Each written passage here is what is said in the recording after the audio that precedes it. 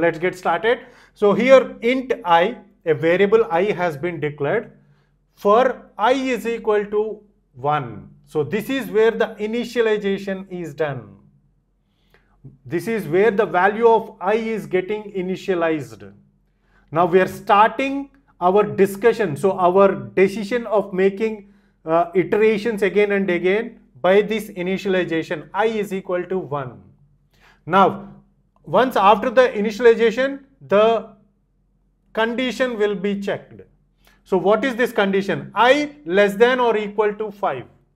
What is the value of i? The value of i is 1. We are going to check whether the 1 is less than or equal to 5. Is it true? Yes, it is true. The value of 1 is less than or equal to 5. Now, once this is true, we will enter into the for loop and this part will get executed. One will get printed in your uh, uh, final output. Now, after completion of all the statements, all the all the statements within the for loop has been executed. Now the incrementation is done. The value of i will get incremented.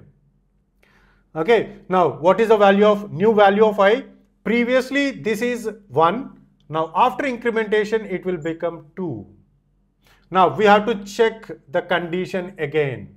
So, what is the condition? With the value of i, new value of i, 2 less than or equal to 5. Is it true? Yes, it is true. So, this is true. Now, we are going to print the value of 2.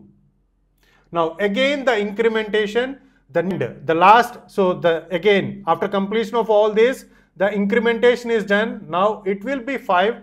Now 5 less than or equal to 5. Is it true? Yes, it is equal. Less than or equal to. So 5 is equal to 5. So this is true. This condition is true. This is what the condition is. This condition is true. We are going to come into this loop and we are going to execute print 5.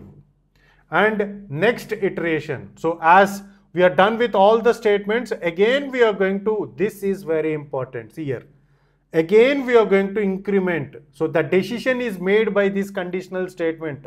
Whether to iterate into this for loop again or not the decision is made by this conditional statement. So the new value of i is 6 try to understand this concept. This is very very very important concept. Okay? So now the new value is 6 now we are going to check the value of 6 less than or equal to 5. Is it true? No, it is not true because the value of 6 is greater than 5.